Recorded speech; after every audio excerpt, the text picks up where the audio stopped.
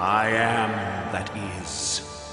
My sword shall wield for me.